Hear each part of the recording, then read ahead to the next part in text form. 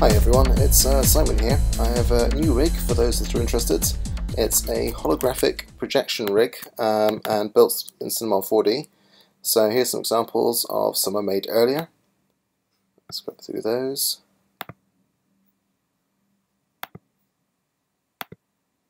So basically what it does is it turns your iPad or pretty much any screen into a holographic projector. Uh, obviously you need to make your own holographic projector, physical one to do uh, a real case study, but you, I've also got virtual ones at Cinema 4D if you just want to demonstrate the concept. So, uh, just give you a quick idea of what they look like. So here's one I designed myself, um, which has got acrylic sides, acrylic plates with armatures, and this bit on top to keep the sun out. Ideally you want to be able to control the light in the space. And this one here is an existing solution which you can actually buy from a company called Holho, which I think are in Italy. And it's probably one of the cheapest ones in the market. And again, it just plonk your iPad on top. Um, that's their website if you want to check it out. Um, but either way, it's pretty cool. That's the schematics if you want to build my one. So um, these will be included in the pack, but I'm not really about creating things in acrylic. My bag is Cinema 4D. So um, looking at this, um, in, in the Dropbox or download link, um, I've got a few projects for you. This one here is the My Design, and it's all set up so if you produce content through the content creator, you'll get a real-time preview. But as you can see, as it's rendering, the content that's on the iPad it's projecting into the hologram, and that'll work as you turn it around. So it's a real-time solution. The other model I've got is based on the Holho, so if you actually wanted to just buy the product but make your own content but see it in reality beforehand, this rig will let you do that. So for this to work, what you need is to be able to make your own content, which effectively is um, a single 3D object seen from four points of view and then maps into a single texture. Now you could set up four cameras, render it off separately, put it together in After Effects, but um, that sounds like uh, too long-winded a process for me. So what I've done is I've created a rig that does it all in one go. Okay, so here's the content creation rig.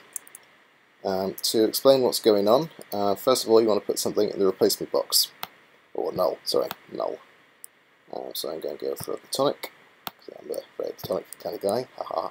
right, okay. Um, at the moment, if I then go down to the bounding box, which is here, I should imagine my platonic is huge in comparison. If I can find it. Yep, it's massive. So um, you want to make sure it's within the box. And in fact, um, because the projection area is actually beveled 45 degrees or so, you probably want to keep it sort of 50% of the size of the bounding box. In hindsight, I probably should have made my bounding box smaller. Sorry. right, so what happens here is there are an array of cameras which are currently in a hidden layer, because you don't need to move those or see them. But if you want to know what's going on, they're there. Turn them off again, and let's hide them again.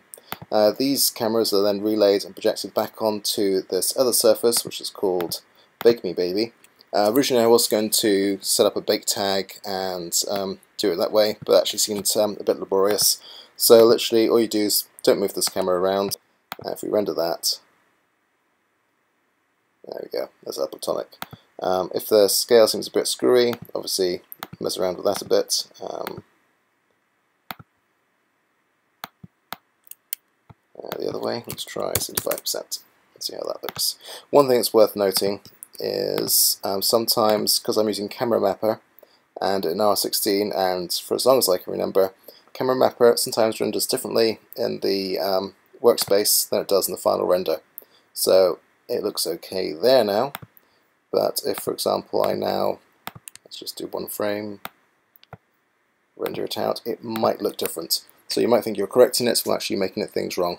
Yep, as I suspected, it um, was correct, it just doesn't render correctly in the preview. So put that back to 1, and let's try that again. There we go. So um, if for any reason your content doesn't look right, make sure you render it properly.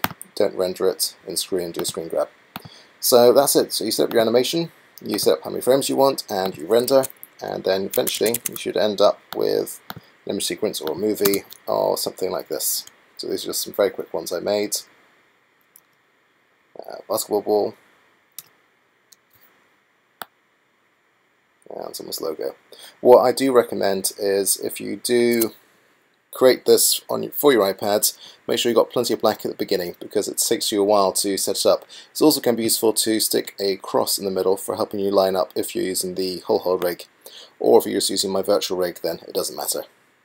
And also it helps to have a bit of a loop if you're doing a real one rather than a virtual one. So I hope that helps, I hope you have fun with this, and I'll be interested to see what people come up with. Take care, bye.